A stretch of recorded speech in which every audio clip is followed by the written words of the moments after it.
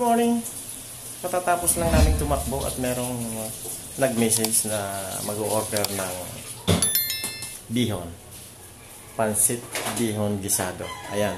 Start tayo kasi 9 o'clock yung pag ano, deliver. Pagkita ko sa inyo kung paano uh, magluto ng very quick, mabilisan. Dahil uh, ano to, uh, short order. Ito na yung part 2 ng aming video kung paano natin lulutuin ang uh, short order ng mabilisan. Okay. So sundan nyo ko.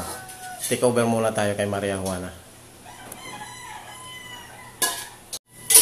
Timer. 10 minutes cooking tayo. I-introduce ko sa inyo kung anong mga sahog ang gagamitin natin sa short order. Ayan. Dito muna sa gulay, meron tayong carrots na in-slice natin ng pahaba. At meron din tayong bagyo beans. Ayan. Meron tayong ginisa mix. Kalahati lang yung gagamitin natin. Huwag tayong masyadong maglagay ng seasoning na madami. Pangpalasa lang, kalahati lang yan. At itong uh, cabbage. Ayan. Naka-slice na yan, ready. At ito yung sibuyas dahon. Sibuyas dahon. Din ito yung ano, tokwa. At itong isang itlog, boiled na yan. Ito yung pan-toppings natin, yung itlog at yung tokwa. Meron tayong squid balls. At meron tayong chicken. Ayan, nag, uh, pre-cook na yan. Uh, fried uh, chicken at nilalagay lang namin sa freezer para kahit one week hindi masisira yun ang kagandahan sa ano sa short order ayan so meron tayong mantika at meron tayong liquid seasoning. Kunti lang ilalagay natin dito. Almost uh, one fourth lang ng ano ng cup liquid seasoning. At meron tayong tuyo. Yan yung ilalagay natin. Uh, one half cup ng tuyo. Ayan. Meron tayong tubig. At uh, prepare natin tong tubig. At meron tayong baso. Tatlong uh, baso lang ng tubig ang ilalagay natin at ito yung bihon na ginagamit namin local lang hindi kami gumagamit ng ano eh, imported kasi malalaki yung himla mas malasa to yung gawang Pilipinas ayan. Tatlong ang tawag dito flex to. Tatlo lang pang short order. Isang orderan na yan. Hanggang uh, apat at uh, lima katao na ang makakakonsume niyan. Makakakain. So start tayo uh, papakita namin sa inyo kung gaano kabilis yung pagluto ng short order. Ayan heating time na tayo sa kawali. Initin muna natin bago lagyan ng mantika para walang tubig. Para hindi tayo masaktan. Siya nga pala itong ginagamit namin na kawali. Kung uh, mag, uh, mag-try kayong mag, uh, mag-short order, magpa-order kayo ng uh, pansit. Uh, yung gagamitin yung ano, kawali. Manipis lang. Bumili kayo ng manipis para mabilisan yung ano, yung pagluto nyo. Kasi kung very thick, matatagalan kayo at hindi agad uh, kukulo yung tubig.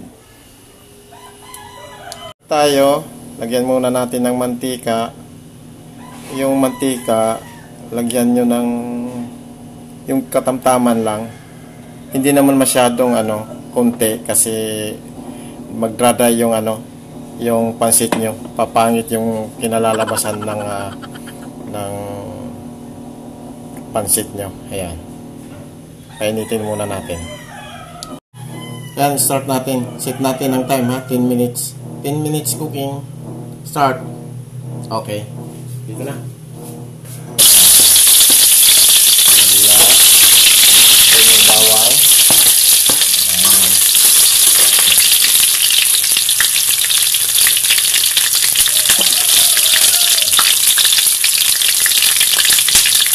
Ito yung durog na paminta. Kailangan igisa mo yung durog na paminta para mas lalong malasa yung pansit mo, yung minuto mo bawat pag-isa mo kailangan na uh, unahin mong igisa yung paminta para maluto. At ito na yung squid balls dahil hindi pa siya luto. Unahin natin siya. Yan. Then, uh, chicken. Yan. Luto na kasi itong chicken eh, kaya hindi kailangan ano. Yan yung mga sahog namin chicken. Yan.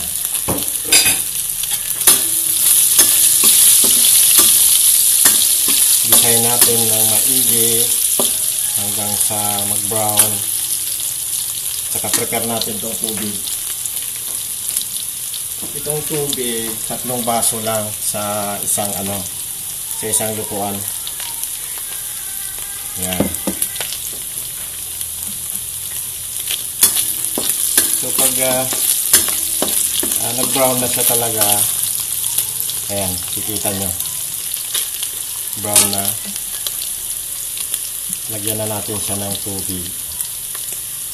Para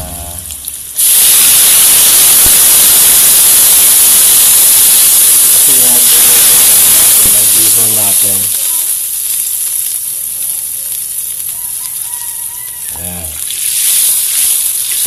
Time 6, 7.30, uh, 7 minutes and 30. Teka lang. Ano yung cup?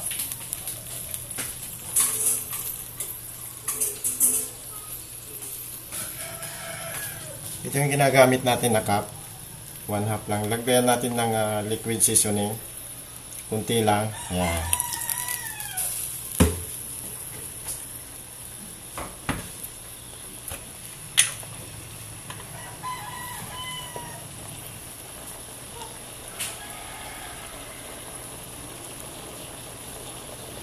At lagyan natin ng tuyo.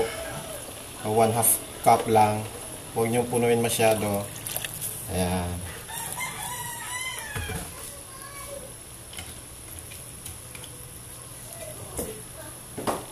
Then sugar, brown sugar, isang dakot lang, ayan. Yan ang sikreto para mas malasa yung ano nyo, yung linuto nyo, yung. At ito na, yung ginisa mix na kalahati lang, wag, wag nyong damihan. Ayan. Kita nyo? Kunti lang. Yan yung mga pangpalasa. At hintayin natin kumulo yan, ha?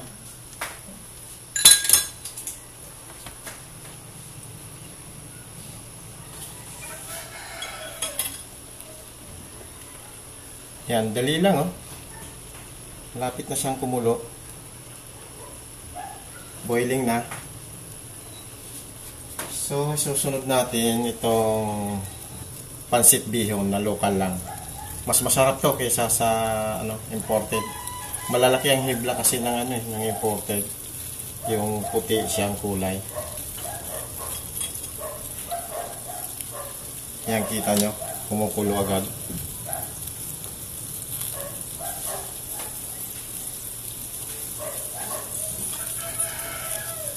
Yan. Okay na. Sok na natin tong pansit. At uh, yan. Yan yung mga technique lang para madaling ano.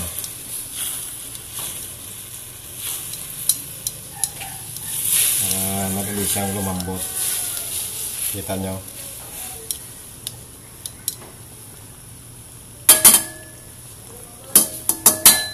Lagyan na natin ng bagyo beans.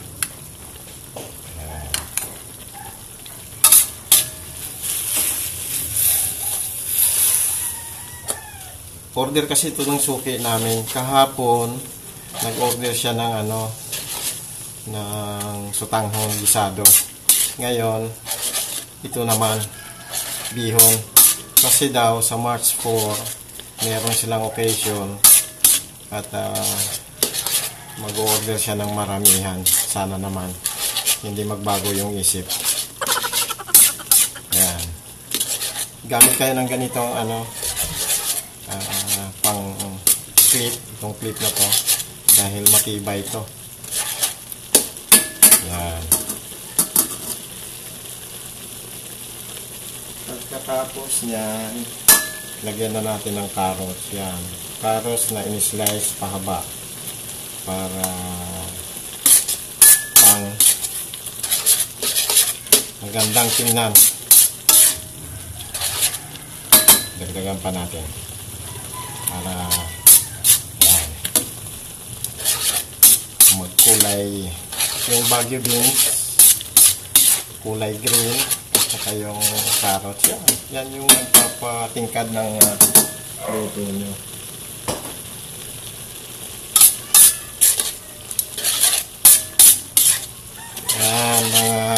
Kapansit, mga kahuana. Kung gusto nyo magnegosyo, kagaya nitong sa amin, home base lang. Ito yung part 2 ha.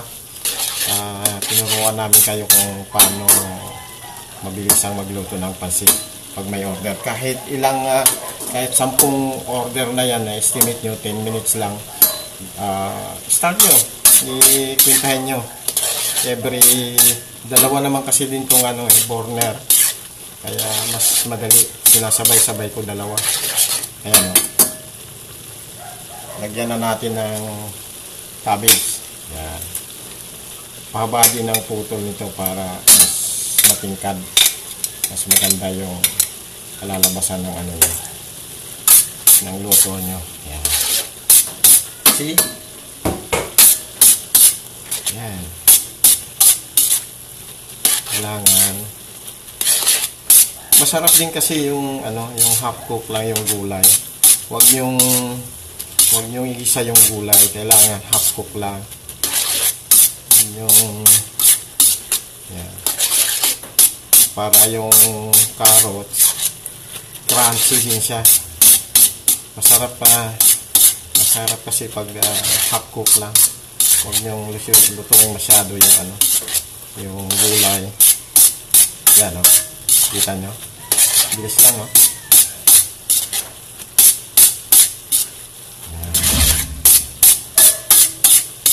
Bilis lang. Ito ngayon yung ano namin. Negosyo namin. Kunting minsan na pagluto kami sa isang araw, 10, maabot naman ng 1.5 to 2,000 yung kinikita namin. So yung magiging ganansya mo dito, uh, kalahati, ayan. Tapos na, oh. Okay. Luto na yan.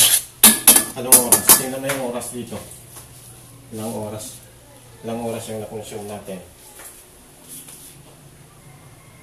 O, oh, ilang minuto. Ayan. So, 9 minutes lang. Luto na yung ano, luto na yung pansit natin. Ayan, kita nyo naman. Stop na natin. Okay, very good.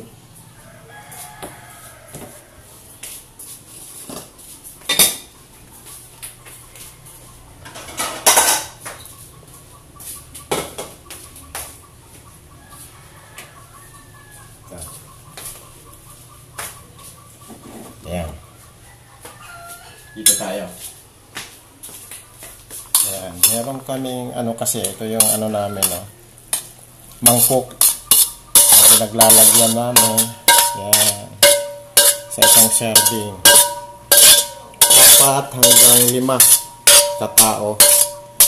Ang serving na to. Na pwedeng kumain dito. Ayan, no? So, palamigin natin ng konti at uh, lagyan natin ng toppings.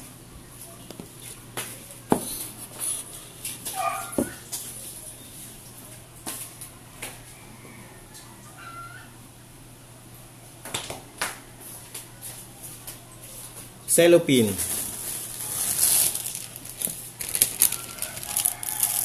Ayan. malamig na konti. Huwag mo namang palamigin masyado dahil yung ano hindi masarap yung pansit pag masyado ng malamig. Pero okay lang. Yan. So, lagyan natin ng uh, ito yung pang toppings natin. Itong tokwa. Yan. Naka ano na yan eh pre-cook na yan eh. Luto na yan eh. Mainitan lang siya. Tapos, ito. Itong itlog, ididib itong itlog, i-divide natin to sa apat. Nagugas, nagugas naman ako ng kamay. Yan. Ano na to, boiled uh, egg. Yan. Okay. Ayan. Yan yung order ngayong, anong araw ngayon? Thursday. Ayun, Huwebes na pala. First order of the day to. Pansit Bihon. Gisado. Yan. Simple lang. Yan. Ikot-ikot, then... Okay.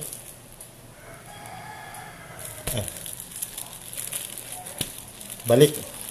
Kalimutan nating lagyan ng ano eh. Na kaya pa naman. Lagyan natin ng sibuyas, anto ahos, Dahon. sibuyas dahon, yan. Pangpalasa din yan.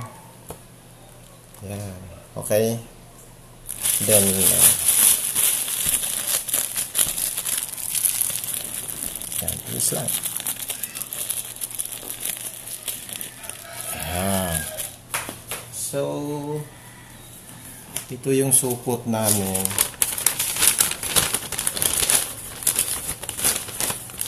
Ito yung supot namin. Pakita mo yung supot. Yan. Tapos, pasok sa supot. Para hindi lumamig. At, ah,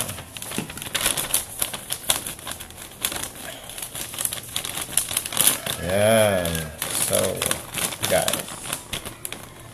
Stapler. Then, mhm, silyado siya. Yan. Nakapag-jog na kami. Nakapagluto pa kami, nakapagnegosyo na. Yan. Unang, ah, unang order pa lang yan sa araw na to. Minsan may nag-o-order mga lima hanggang sampo hanggang maghapon. Dito lang kami sa bahay. At least, meron tayong kinikita legal yung uh, kinikita natin. Ayan. Short order. So, kayahin nyo kami guys. Talagang uh, kikita kayo dito sa short order. I-introduce nyo muna. I-offer nyo sa mga kaibigan nyo, kaibigan nyo, mga ano, relatives nyo. Uh, gayahin nyo lang yung luto namin. Masarap. Talagang uh, i-try nyo at ah, tikman nyo. Masarap. Ah, babalik-balikan kayo ng ah, customers nyo. So, thank you for now. Sa susunod uli, papakita namin kung paano lutuin yung kanton, yung lumi, at yung ah, ano, ah, Tutanghon sa gisado. tanghon, gisado, at saka yung chapsoy ni Mrs. So, ano pang inaantay nyo? Subscribe na sa channel ni Mrs. Maria Juana TV. Ayun, Maria Juana TV. Ma Juana TV. Bye!